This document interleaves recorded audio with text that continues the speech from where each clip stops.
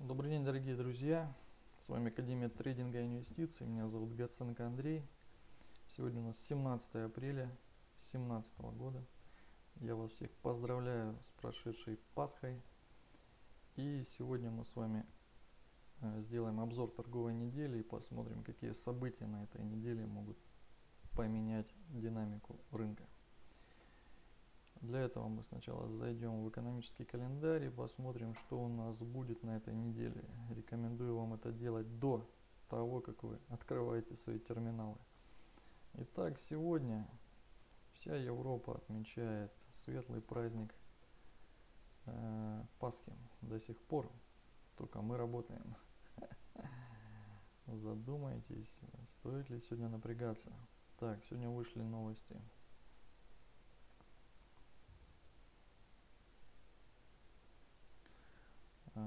По юаню довольно хорошие.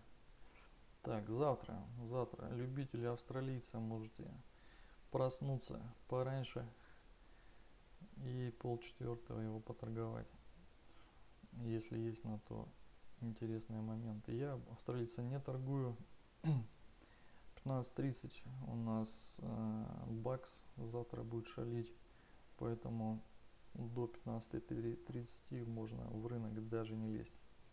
Дальше, среда. Среда у нас, как обычно, э, традиционно, да, запас сырой нефти 17.30 и днем, что важно, 12 часов у нас будет евро. Те, кто ее торгует, в среду будет хорошее движение э, в обед. Так, и четверг. Четверг любители новозеландца ночью мож, могут оторваться по нему. Вот. Ну и вечером у нас э, новости по Баксу. Самая мощная из них 3 БК, индекс производственной активности. Так, ну и пятница э, с утра, обратите внимание, 10.30, 3 БК по евро, что бывает не часто. И э, в 11 тоже много евро. А также в 11.30 у нас день фунта, это пятница. Много по нему новостей. Потом канадец и продажи на вторичном жилье уже э, э, вечером в пятницу по баксу. А также есть э, маленькая вот здесь поправочка э, заседание ОПЕК. Два бычка, но те, кто торгуют нефть, они должны следить за этим заседанием, когда оно будет и смотреть новости, когда именно это произойдет. Так, собственно, вот такие э, новости будут на неделю. Рекомендую их просматривать в понедельник, э, вот, чтобы быть в курсе событий, может даже куда-то записывать, либо отмечать на своем графике вертикальными э, линиями. Так, теперь перейдем к анализу так, что у нас? Евро-доллар. Недельный таймфрейм. Я сюда начинаю с неделек, и это очень здорово. Недельки. На недельках еврик, конечно, находится до сих пор под, под давлением гигантского поглощения, который прошел три недели назад. До сих пор болтается у нижней стенки канала. Покупать отсюда я не рекомендую. Эта модель не лонговая, это шортовая модель если вы посмотрите, где это все находится, то увидите, что на недельном графике еврик э, потихонечку умирает в районе 1.05. И на мой взгляд это все закончится пробоем и выходом из этого канала вниз. Это стандартная модель набора э, э, индикаторщиков лонгистов, которые у которых еще там средние индикаторы э, заряжены в бай. И стопы они ставят только сейчас за 1.05 и все это полетит в ближайшее время. Скорее всего на выборах, либо перед выборами во Франции, да, как вы знаете, проходят сейчас э, предпрезидентские дебаты. Э, собственно, я думаю, там будет все очень яростно, потому что несколько, несколько кандидатов, у них примерно одинаковые шансы. И э, на самом деле перекос вероятности победы одного из них может э, нарушить какой-нибудь форс-мажор. Как вы знаете, терроризм в Европе процветает. И не дай бог, конечно, фу-фу, вот, может что-то произойти из этой серии, и тогда Еврику это не поможет. И полетит он дальше вниз. Э, почему я так уверенно об этом говорю? Потому что э, бычья модель от 1.05 не дала развития и цена не закрепилась над э, захваченными экстремумами и все это дело моментально обвалилось вниз. Это говорит о том, что крупные игроки не держат лонговые позиции по евро. Соответственно, эта валюта им не нужна. Поэтому на фоне этого э, любые усиления бакса, связанные с заявлением Трампа, либо какими-то его воинственными действиями против других стран могут привести к усилению доллара на фоне слабого, э, слабой евро. И э, она, дорогая наша, обвалится. Вот, поэтому лонги я не рекомендую смотреть. Даже просто анализ простейший недавних свечей да, по ну, прошлой неделе по Йорику говорит о том, что были забросы наверх, да, забросы были связаны с баксом опять же, и все это дело похоронилось вот такими пинами. И по еврику ничего бычьего здесь не вижу. Давление на нижнюю стенку канала. Может еще будет пару забросов и потом все это разгрузится вниз. Так, это что касается евро. Британец. У британца на неделях чистейшее поглощение на прошлой неделе. Ему прямая дорога к 1.29, о чем я говорил еще несколько недель назад для э, совершения сделок по британцу рекомендую обратить ваше внимание на круглые уровни, которые он тестирует регулярно с большим удовольствием. Вот. Ближайший кругляк э, по британцу 1.25. Если, допустим, неожиданно усилившийся бакс Э, закинет британца под 1.25, э, можно его лонговать смело до 1.26 и так далее до 1.29. Это будет объективно даже на дневном таймфрейме хороший запас хода будет. Британец на неделях сетап класс 1 плюс 1 после поглощения, а также заявление Терезы Мэй. И он потихонечку набирает обороты. Дальше золото. Золото, недельный таймфрейм. На недельках золото оторвалось от своей поддержки, летит в космос. Вот это отчасти, ну отчасти там половина это движение а, заявление Трампа о том, что доллар у них сильно дорогой, надо бы его поддешевить, да, то есть э, Трамп может просто выйти на свою лужайку, ляпнуть и, и зайти. И рынок потом трясет несколько дней. На самом деле это не очень хорошо. Мне как спекулянту это совсем не интересно. Такие непрогнозируемые действия этого товарища.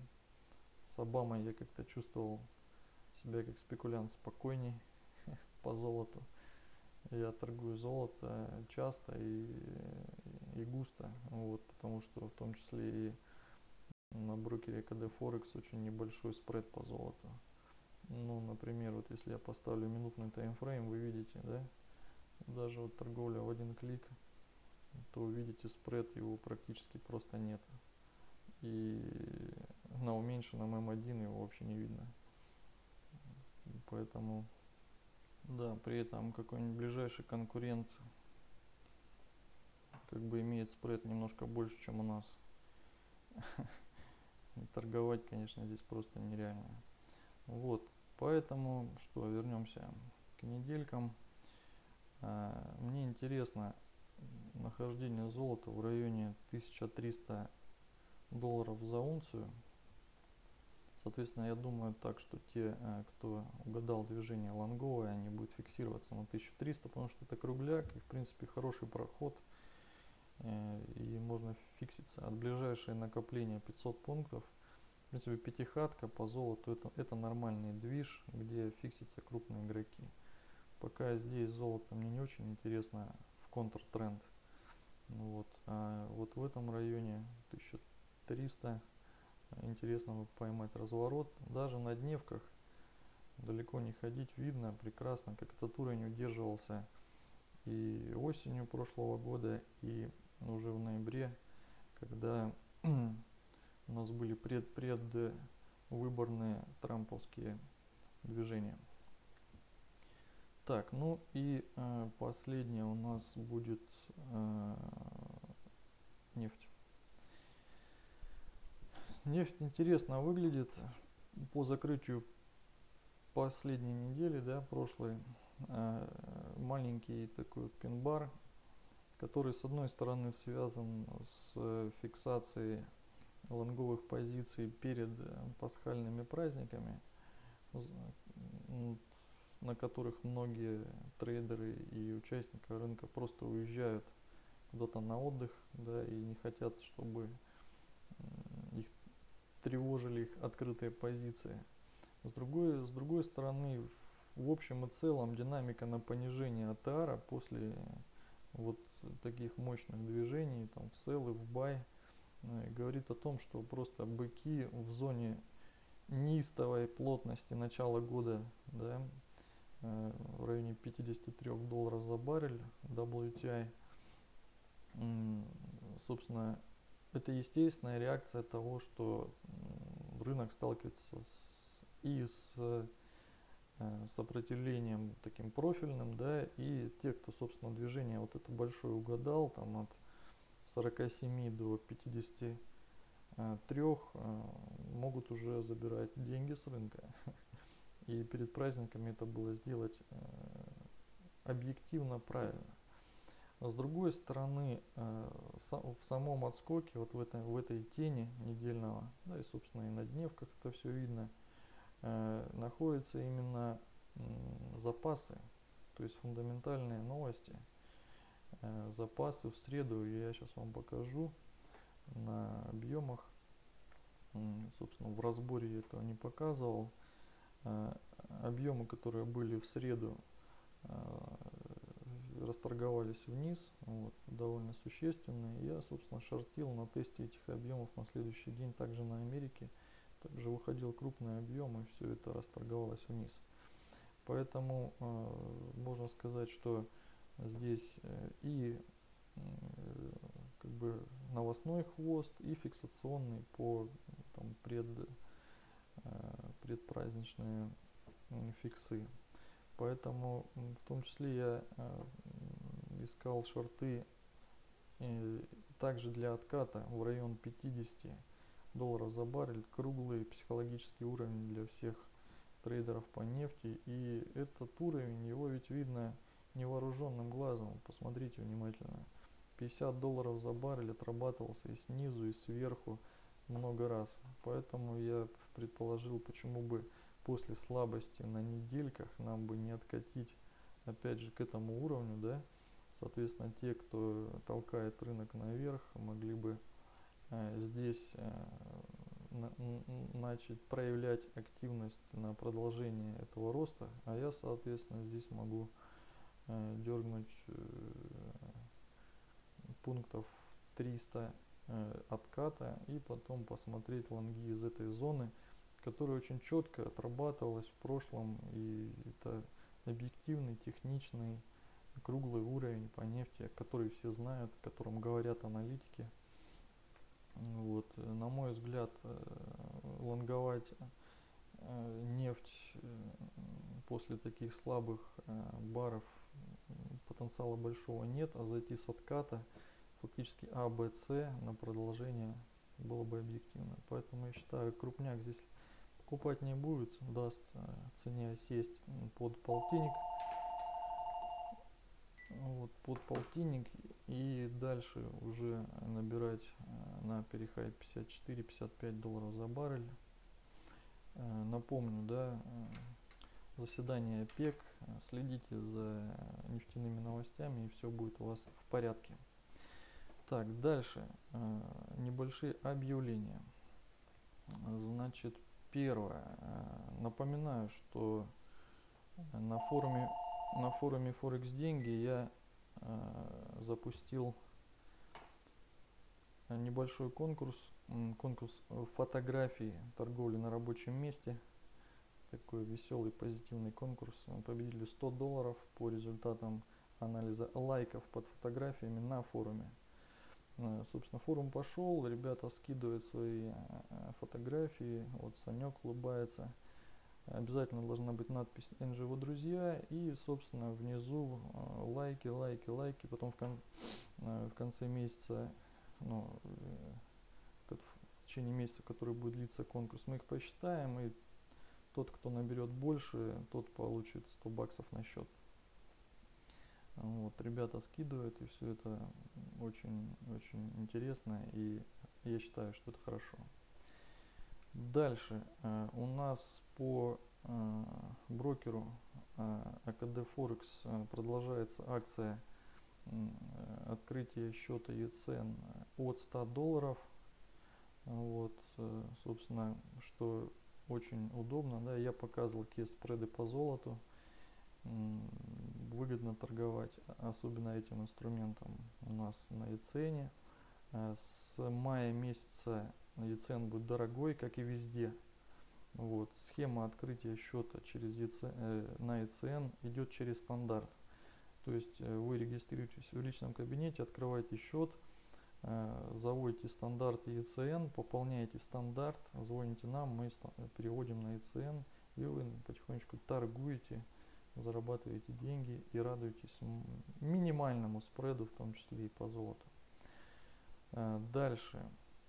Еще э, вот что хотел сказать. Э, многие путают компанию Академия трейдинга инвестиций, которая по сути является консалтинговой, то есть где мы занимаемся аналитикой, обучением, различные услуги у нас, акции, проводим вебинары и так далее – очень много материала тут для трейдеров и бесплатно в том числе выложено.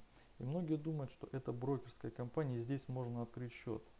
А на самом деле это не так. Компании две. Это Академия трейдинга и инвестиций да, и са, сама брокерская компания АКД Форекс.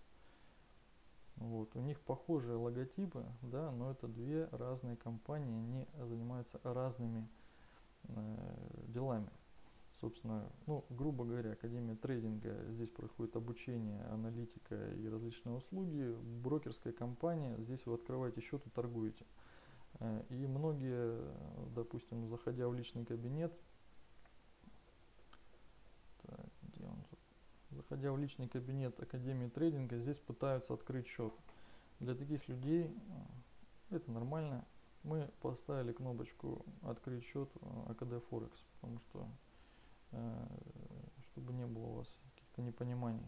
Ну, а также в том числе и на баннере КД Форекс сверху и, и внизу в э, футере тоже есть кнопки «Открыть счет». Либо вы просто переходите kdforex.com и, собственно, здесь уже на сайте открываете э, себе счета.